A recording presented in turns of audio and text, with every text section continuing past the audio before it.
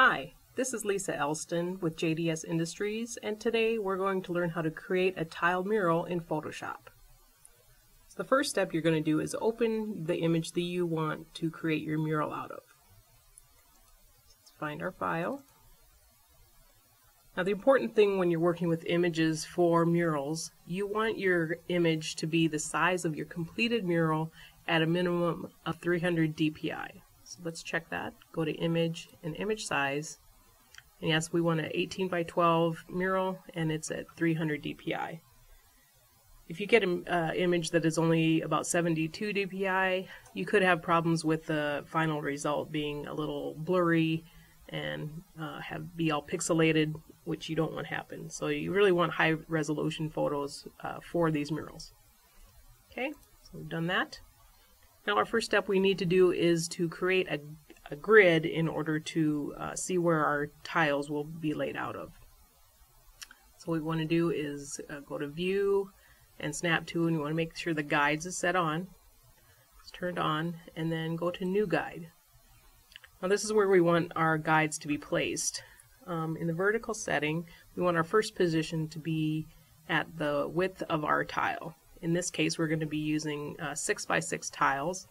So we want the vertical position for the first guide to be at 6. Okay, and it just snaps right in there. And we need one more uh, vertical guide. Let's go to View, New Guide. Now the second position will be uh, twice the size because we're going to put two tiles. So be the position would be 12. So you kind of get how that would work if you had more than one, more than three tiles in your in your mural that you wanted. Just double or triple the width of your tile. Okay, we need one horizontal tile, a grid line, so we want that one to select horizontal, and that one will also be at 6, and that places it right in the middle.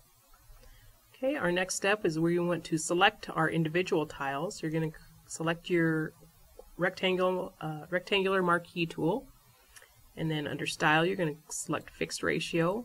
And your width and your height will be the width and height of your actual tile. So it's 6 by 6 in this case.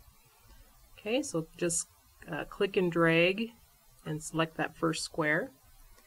And then you're going to go to edit and copy and then file and new. So we're going to create a new document for this one particular tile.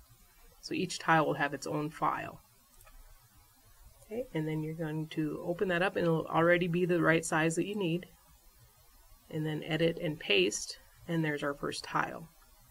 Now our uh, next step is we need to resize this up slightly to allow for a bleed. So to go to image size, and then we want, just want a quarter inch of a bleed on it. So 6.25, and that'll just increase it slightly. It won't affect the resolution with that small of an increment. Okay, and then the last step is we need to save this. File, save, and we're just going to call this tile 1.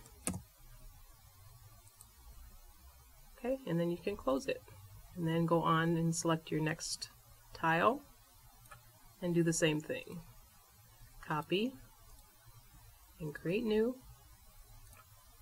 and then edit and paste and resize. And then save it. And tile 2. And just continue until you have all your tiles uh, selected and saved.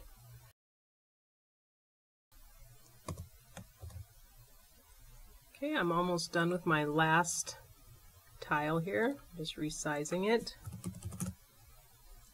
and save it. Okay, now we can close that. And if you want to save this with the grid, you sure can. Otherwise, just select no and close that out. And then we're going to go and we're going to see how we have all our original image and then our six tiles. So let's go ahead and open our first tile and get that ready to print for sublimation. Okay, so go ahead and uh, go to File Print. Oops. File Print.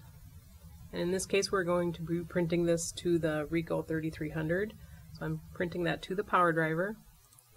And then we're going to make sure our settings are correct. We want the substrate to be ceramic. We're using the TexPrint-R paper. We want our intent to be realistic and the ColorSure is not on.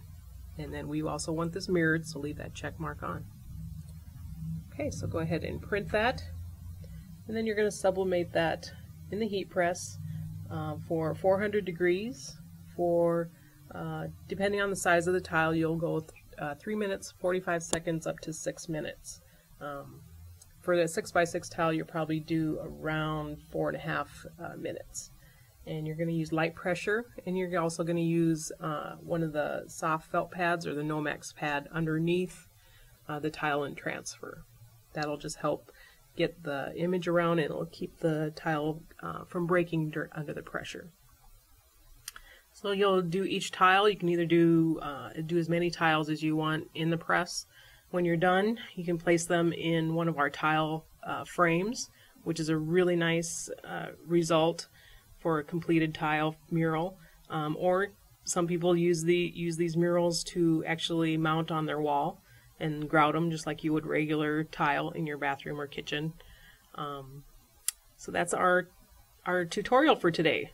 Thanks for watching. If you have any questions at any time, give us a call at 800-843-8853 or you can send us an email at sublimation at jdsindustries.com.